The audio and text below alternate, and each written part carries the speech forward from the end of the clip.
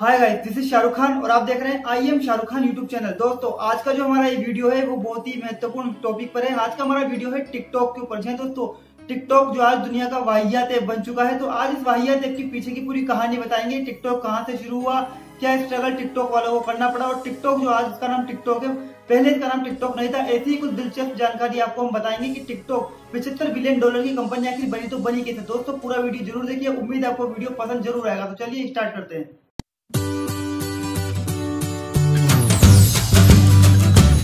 तो दोस्तों, ये कहानी शुरू होती है 2014 से पहले। जी हाँ दोस्तों, चाइना में दो खास दोस्त थे, बिल्कुल एकदम करीब के दोस्त। एक का नाम था एलेक्स जू और दूसरे का नाम था कुयू यंग। जी हाँ दोस्तों लू यू यंग। तो एलेक्स जू और यू लू यू यंग दोनों ही बड़े होनहार और इंजीनियर किस्म के लड़के थे। इन लोगों ने सोचा कि क्यों ना समाज के लिए एक ऐसा ऐप तैयार करें जिसके अंदर लोगों को पूरी जानकारी मुहैया करा दी जाए फ्री के अंदर। जी हाँ दोस्तों, ये लोग चाहते थे कि एजुकेशन सिस्टम बहुत ज़्यादा महँगा है चाइना के अंदर तो क्यों ना चाइना के लोगों को एक ऐसा ऐप तैयार करके दिया जाए जिसमें उन्हें घर बैठे ही सब कुछ पढ़ाई, यानी बारहवीं क्लास से लेकर और बी ए तक की सभी प्रकार की पढ़ाई उनको फ्री में उपलब्ध करवा दी जाए। इसी के लिए इन्होंने तैयारी की उस एजुकेशन ऐप के लिए। इन्होंने एजुकेशन का ऐप कई साल मेहनत करने के बाद बनाया भी।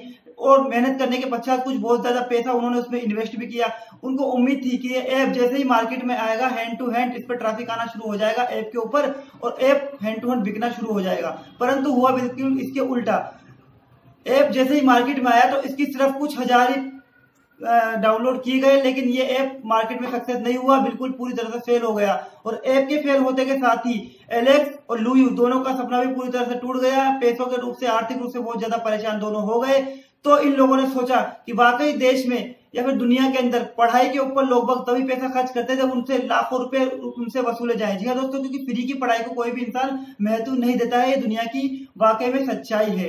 इसलिए उन्होंने सोचा कि अब क्या किया जाए? उन लोगों ने यहाँ पर इससे हार नहीं मानी। उन्होंने फैसला किया और उन्होंने दिमाग लगाया कि क्यों ना इस ऐप को हम एंटरटेनमेंट के अंदर बदल दे। एंटरटेनमेंट क्योंकि आजकल पब्लिक का बहुत ही महत्वपूर्ण विषय भी है। लोग बाग पढ़ाई में कम ध्यान लगाते हैं और गानों के अंदर वीडियो के अंदर ज़्यादा ध्यान लगाते हैं। तो उन लोगों ने एक ऐप बनाया उसका नाम रखा उन्होंने म्यूजिकली जी हाँ तो, तो उन्होंने उस ऐप का नाम रखा म्यूजिकली ऐप। म्यूजिकली ऐप उन्होंने 2016 के अंदर लॉन्च कर दिया। 2016 के अंदर जब उन्होंने म्यूजिकली ऐप लॉन्च किया तो सबसे पहले उन्होंने इस ऐप को चाइना और अमेरिका के अंदर लॉन्च किया। चाइना और अमेरिका के अंदर देखते ही देखते एक साल के अंदर अंदर लगभग 80 लाख से ज़्यादा लोगों ने इस ऐप को डाउनलोड कर लिया और हर रोज 10 लाख से ज़्यादा वीडियो इस पर अपलोड होते रहे। तो उन्होंने वाकई इसको एक करिश्मा के रूप से देखा जाए तो एक उन्होंने बहुत बड़ा करिश्मा हो गया, जो एक कंपनी फ्लॉप हो गई थी एजुकेशन के मामले में, वो एंटरटेनमेंट के रूप में नहीं आकर उसने बहुत ही ज़्यादा नाम कमा लिया। अब उन्होंने इसको पूरी दुनिया में विस्तार करना शुरू कर दिया। पूरी दुनिया के अंदर एंटरटेनमेंट का जो म्यूजिकली ऐप था, ये छाने लगा।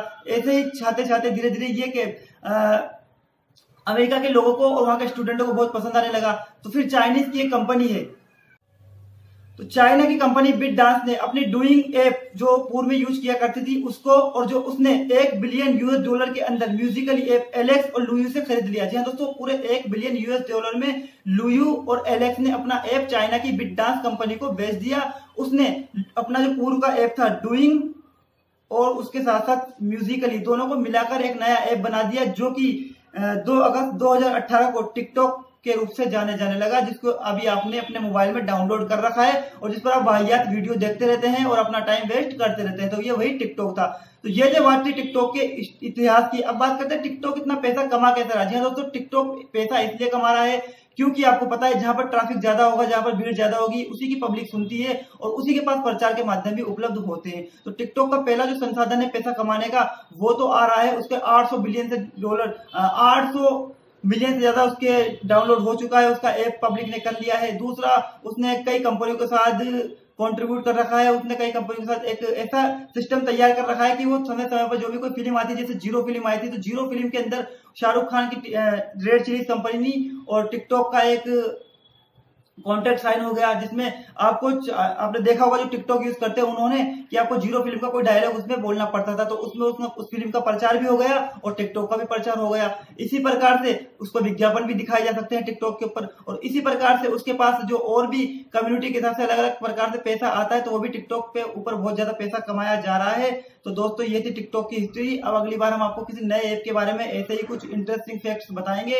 लेकिन हाँ आपसे कहेंगे कि अगर टिकटॉक आपके काम का है, वाकई में आप टिकटॉक टिकटॉक से कुछ करना चाहते हैं, हासिल, तब तो टिकटॉक रखिए मोबाइल में। अन्यथा, आपकी उम्र पढ़ाई करने की तो पढ़ाई पर ध्यान दीजिए। टिकटॉक विकटॉक को छोड़िए और कुछ अच्छा काम करने की कोशिश कीजिए। तो दोस्तों, उम्मीद है वीडियो पसंद आया होगा। अगर वीडियो पसंद आया तो लाइक कर दीजिए। और हाँ अगर आप नए हो तो चैनल को सब्सक्राइब करना ना भूलिए।